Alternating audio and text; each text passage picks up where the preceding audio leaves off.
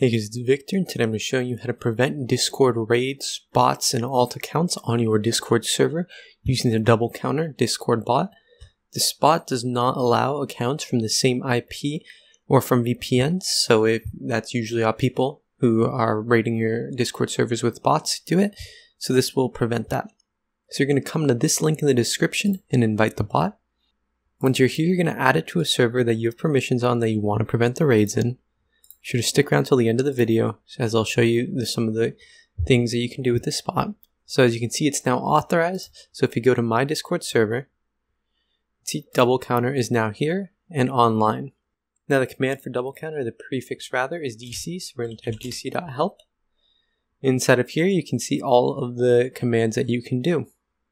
Now the first thing you need to do is dc.config.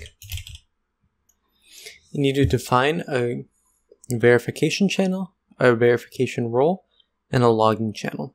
So we're just going to dc.config channel, and then just the channel you want to be the verification channel.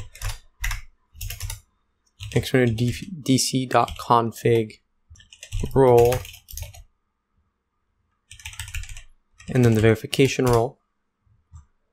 And finally, dc.config logs, and then the logging channel. Now you're entirely set up with your double counter bot and you can prevent all raids. Now if this worked for you and helped you out, make sure to like and subscribe and if you or your friends know anyone who needs this as well, then make sure to let them know and share it with them. Thank you for watching. Goodbye.